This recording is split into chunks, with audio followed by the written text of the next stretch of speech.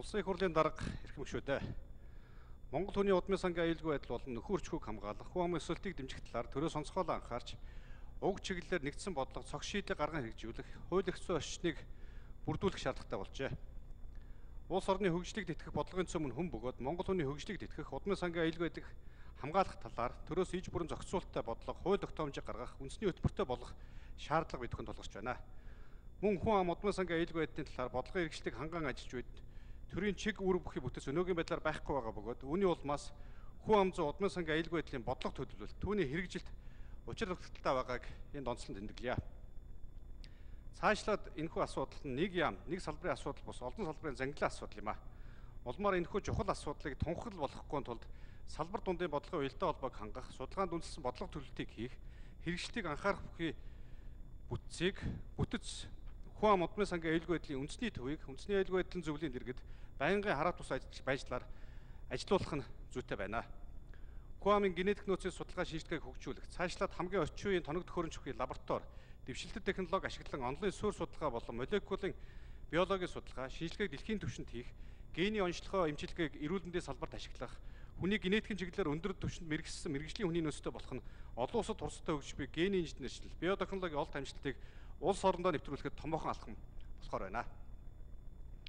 Удмын сан цус ойролттой сэргийлт цэвэр тунгалаг байлгах, хүнээ хөгжүүлж өндөр чадах бүхий иргэнтэй болох, гол хэрэглүүр болсон угийн бичиг хөтлөх журмын хэрэгжилт улсын хэмжээнд хангалтгүй байгаа бөгөөд нийт айл өрхийн 22.2% нь удмын огт мэддэггүй. 88.5% нь угийн бичиг огт хөдөлдөггүй. Түүний ач холбогдлын талаар мэдлэг дутмаг байгаа нь сүүлийн үеийн судалгааны үр дүнгээс харагдаж байна.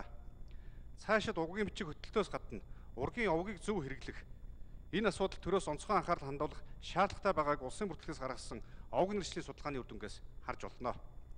Улмаар хүн амын өсөлтийг дэмжих, нөхөрчхөг хамгаалах, гэр бүлийн доктортой байдлыг төрөөс анхаарах шаардлага тулгарч байгаагийн нэг үзүүлэлт бас гарч байна. 2020 оны байдлаар гэр бүлийн салалт 23.2%-тай байгаа бөгөөд гэр бүлийн салтын үндсэн суурь шалтгаан нь гэр бүлийн эдийн засгийн чадамж, чадах сул байгаа мөн залуу гэрүүлүүдийн хамгийн том асуудал болсон орон байрны асуудлыг шийдэхэд төрөөс дэмжлэг үзүүлэх нь зүйтэй байна. Мөн манай улсад их хүүхдийн эсмийн дамарж их эрүүл мэндийн үйлчилгээ асаргаа сувилгааг даатгалын тогтолцоогоор шийдвэрлэх шаардлагатай байгааг олон улсын байгууллага болон мэрэгжлийн судлаачид дүгнж байна. Өнөөдөр гадаадад ажиллаж байгаа Монгол иргэдийн тоо даруй 176 мянгаас холд авсан бөгөөд эх орондоо ирж ажиллах сонирхолтой боловч ажлын байр хомс мөн ажиллаж амьдрах таатай орчин байхгүй болмоос иргэн ирэх тохиолдол бага байна. Үүнтэй холбоотойгоор Монгол улс чадварлаг мэрэгсэн ажил хүчин болсон иргэдээ эх орны бүтээн байгуулалтанд бүрэн дүүрэн ашиглаж чадахгүй төрж гадаадад амьдарч буй иргэдийн тулд гэр бүл салт ихсэх хүүхдийн эрх зөрчигдөх асуудал газар авч байна. Үндэсний статистикийн орооны судалгаагаар нэг хүний жилийн дундаж согтруулах ундааны хэрэглээ сүүлийн 11 жилийн хугацаанд 28.2 литрээс 52.5 литр болж 1.9 дахин өссөн байна. Мөн мансууруулах хэм сэтгцэн төлөөлөх бодистой холбогдолтой гэмт хэрэг 2018 онд 109-ээс гарсан бол түүн 402 хүн холбогдсон шалгагдаж байжээ.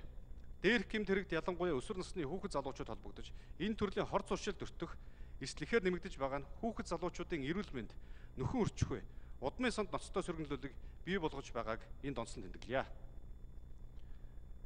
Эдгээр үндслэл шаардлагын хүрээнд Монгол хүний удмын сангийн аюулгүй байдлыг хамгаалах хүн ам өсөлтийг дэмжих талаар авах хэмжээний тухай бодлогын шийдэл бүхий улсын хурлын тогтоолын цэцлийг босрууллаа. Хилцэн баталж өгөхийг та бүхнээс хүсье. За төслийн талаарх нийгмийн бодлогын байнгын орон санал дүгнэлтийг улсын хурлын гишүүн Содномын чин зөриг танилцуулнаа.